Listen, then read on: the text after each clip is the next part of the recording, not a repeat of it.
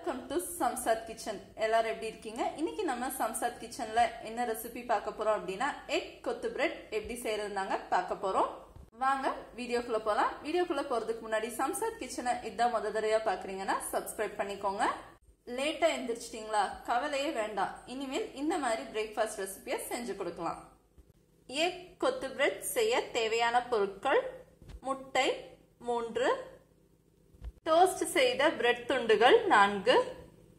பெரிய வெங்காயம் இரண்டு நறுக்கியது. கொடைமிளகாய் சிறிதளவு. தக்காளி பழமா ஒன்று நறுக்கியது. மஞ்சள் தூள் அரை டீஸ்பூன்.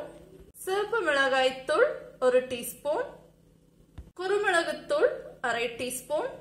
கரம் மசாலா தூள் அரை டீஸ்பூன். பச்சை மிளகாய் ஒன்று நறுக்கியது. மல்லி இலைகள் சிறிதளவு கருவேப்பிலை இலைகள் சிறிதளவு உப்பு தேவைக்கேற்ப எக் கொத்து பிரெட் எப்படி செய்யறதுன்னு பார்க்கலாம் வாங்க. டோஸ்ட் பண்ண பிரெட்டை இந்த மாதிரி சின்ன சின்ன பீசஸா கட் பண்ணி எடுத்து வச்சுக்கோங்க. முதல்ல முட்டையை கலந்துக்கலாம். முட்டை கூட முதல்ல மஞ்சத்தூள் மிளகாய்த்தூள் ரெண்டையும் சேர்த்துக்கலாம். கரம் மசாலா தூள் குருமிளகுத்தூள் முட்டைக்கு தேவையான உப்பு.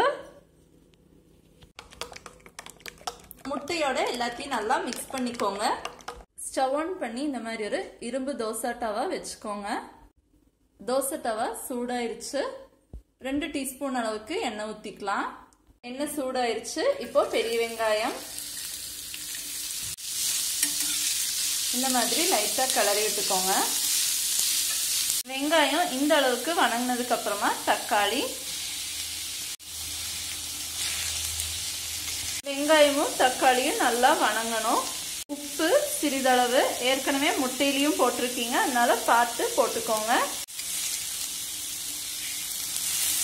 இந்த ஸ்டேஜில் கொடமிளகாய் பச்சை மிளகாய் ரெண்டும் சேர்த்துக்கலாம். கொடமிளகாய் சீக்கிரம் வெந்துடும் அதனால தான் கடைசியில் சேர்க்குறேன். எல்லாம் நல்லா வணங்கிருச்சு இப்போ நம்ம மிக்ஸ் பண்ணி வச்சுருந்த முட்டையை இதோட சேர்த்துக்கலாம். முட்டை ஊத்துனதுக்கு அப்புறமா கொஞ்சமாக எண்ணெய் ஊற்றிக்கலாம் இப்போ இது கூட பிரெட்டையும் சேர்த்துப்போம். இப்போ எல்லாத்தையும் ஒன்று சேர மிக்ஸ் பண்ணி விடுவோம் முதல்ல.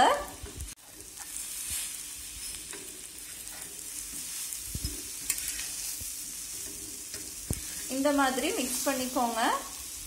எல்லாத்தையும் திருப்பி விட்டதுக்கு அப்புறமா இந்த மாதிரி ஒரு கிளாஸ் வச்சு நல்லா கொத்தி விட்டுக்கோங்க. நீங்க இதை நல்லா ஒரு ரெண்டு சட்டகம் வச்சும் செய்யலாம். நல்லா குட்டி குட்டி பீசஸ் ஆக்கணுங்க பிரெட்டை வேப்பிலை இலைகள் மல்லி இலைகள். பார்க்கும் போதே சாப்பிடணும்னு தோணுது. எக் கொத்து பிரெட் ரெடி ஆயிருச்சு. இந்த ஸ்டேஜ்ல ஸ்டவ் ஆஃப் பண்ணிக்கலாம்.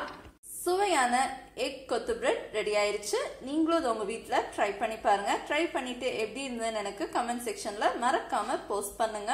சம்சாத் கிச்சன்ல நான் செய்யற ரெசிபிஸ் எல்லாம் உங்களுக்கு பிடிச்சிருந்தா சம்சாத் கிச்சனை லைக் பண்ணுங்க ஷேர் பண்ணுங்க சப்ஸ்கிரைப் பண்ணுங்க.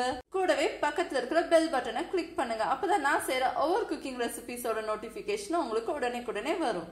பை ஃப்ரெண்ட்ஸ் இன்னொரு வித்தியாசமான ரெசிபியோட நான் உங்களை இன்னொரு வீடியோல சந்திக்கிறேன். அது வரைக்கும் ஸ்டேட்யூன் வித் சம்சாத் கிச்சன்